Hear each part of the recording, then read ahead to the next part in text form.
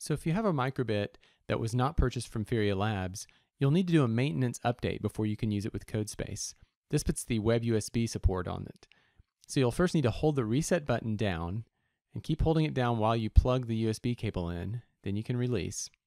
Make sure the other end of the USB is connected to your PC, of course.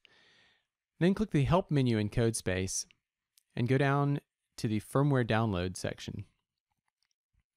Here you'll click the Maintenance link, which will download a maintenance hex file to the file system.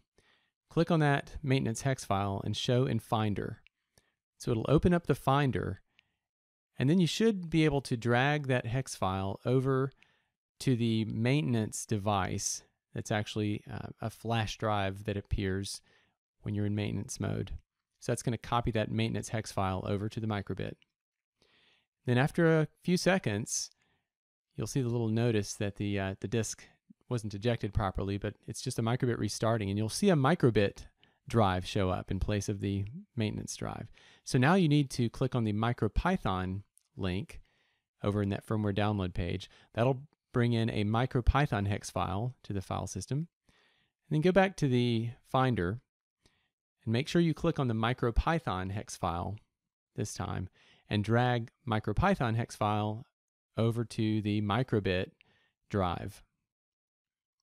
That'll take a few more seconds to copy MicroPython over. And once it's finished copying, it's going to restart, the microbit will restart again. You'll get another one of those uh, disk not ejected properly messages, and you can just close those out because now you've got a fully upgraded microbit. So then you can go in CodeSpace to the USB icon, click on that, and it will bring up Chrome's device selector. So click CodeBot REPL and click Connect. And now you're ready to interact. Click play, load some code onto the microbit. Welcome to CodeSpace.